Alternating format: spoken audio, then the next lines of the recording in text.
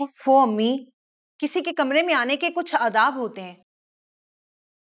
शायद आप भूल रही हैं कि अब मैं शादीशुदा हूँ। अच्छा अच्छा मुझे ज़्यादा आदाब सिखाने की ज़रूरत नहीं है। बाजी अभी अभी ऑफ़िस गई थी तो मैं भागी हुई आ गई यहाँ।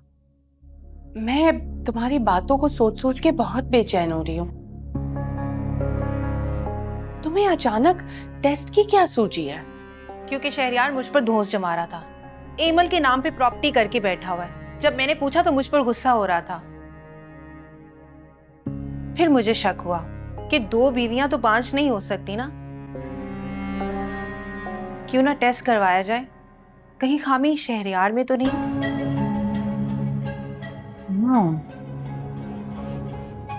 इस पे तो हमने सोचना ही नहीं। आपने नहीं सोचा ना। लेकिन अब मैं सोच रही हूँ। हमें आज ही चलना है डॉक्टर मेहनाज के पास। मैंने अपॉइंटमेंट ले ली है। बहुत अच्छी गायनाकोलॉजिस्ट है। आज? आज तो बाजी ने किचन देखने को कहा है मुझे। फहद और उसकी अम्मी आने वाले हैं आज रिश्ते के लिए। अच्छा? मम्मी जी मान गई हैं। मगर शहरियार ने तो मुझे इस बारे में कुछ भी नहीं बताया। बाजी के दिमाग का पता है किसी को? कल तक कितना हंगामा किया हुआ था उन्होंने?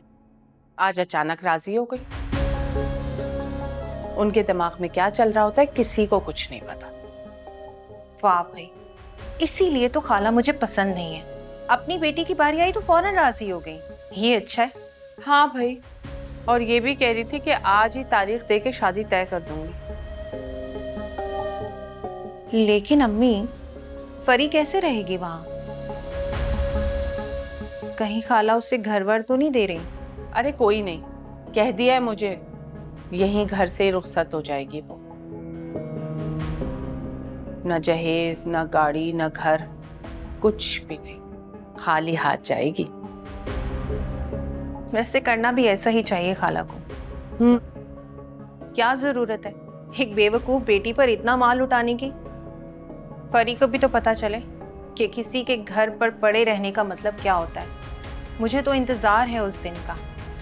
जिस दिन फहद उसे लड़ झगड़ कर यहाँ छोड़ जाएगा। ऐसा ही होगा।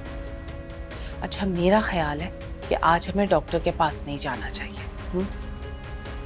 वो अम्मी ठीक है आपने नहीं जाना ना ना जाए। मैं खुद ही चली जाऊँगी। अरे अच्छा अच्छा।